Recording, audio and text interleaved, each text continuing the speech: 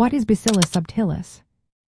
Have you ever wondered about the tiny organisms that play a big role in our world? One fascinating example is Bacillus subtilis. This bacterium belongs to the genus Bacillus and is known for its unique characteristics. Bacillus subtilis is a gram-positive, rod-shaped bacterium.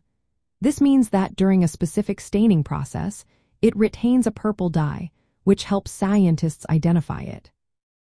What makes Bacillus subtilis particularly interesting is its ability to break down hydrogen peroxide.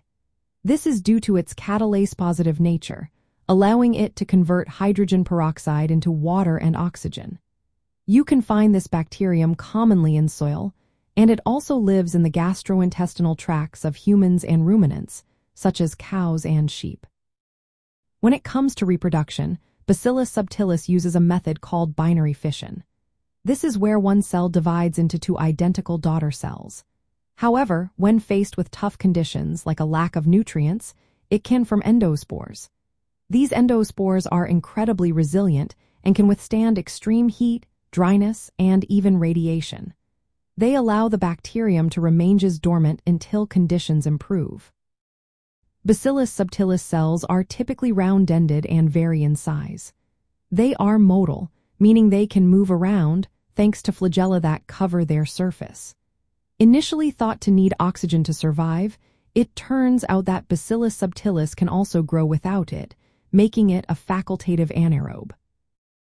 This bacterium is not just interesting to study, it has practical applications too.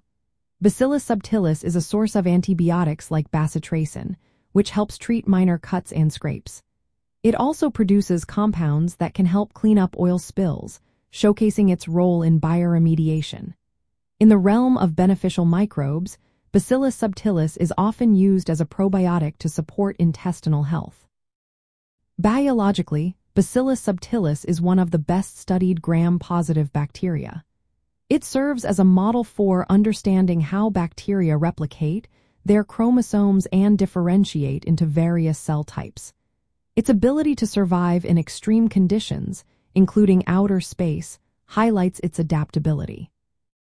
Unlike some other species in the Bacillus family, such as Bacillus anthracis, which causes anthrax, Bacillus subtilis is non-pathogenic and safe for research and various applications.